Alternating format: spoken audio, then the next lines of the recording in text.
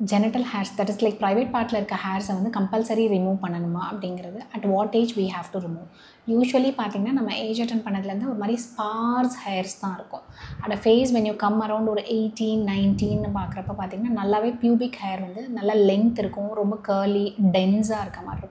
usually when the hairs are so dense it will trap all the sweat and sometimes வந்து நம்ம white discharges it will get mixed bleeding it will get missed whatever we wash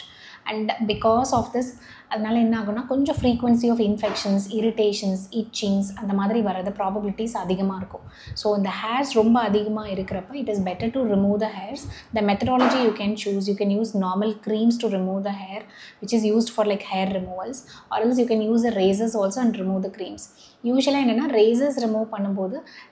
கொஞ்சம் அந்த அடுத்த two three டேஸ்க்கு அந்த வந்து இந்த ஒரு மாதிரி ஹார்டாக இருக்க மாதிரி இருக்கும். சம்டைம்ஸ் ரேசர் யூஸ் பண்ணும்போது அந்த ஹேர் ஃபாலிக்கலில் சம்டைம்ஸ் இன்ஃபெக்ஷன்ஸ் வரும். So you decide which one is suited for you and then you remove your hairs don't never do it during the menses period of time but அதுவே hairs ரொம்ப flimsy thin just covering that layer அப்படின்னா ஹேர்ஸை remove பண்ணுங்கிற necessities கிடையாது. Otherwise it is better to remove the hairs always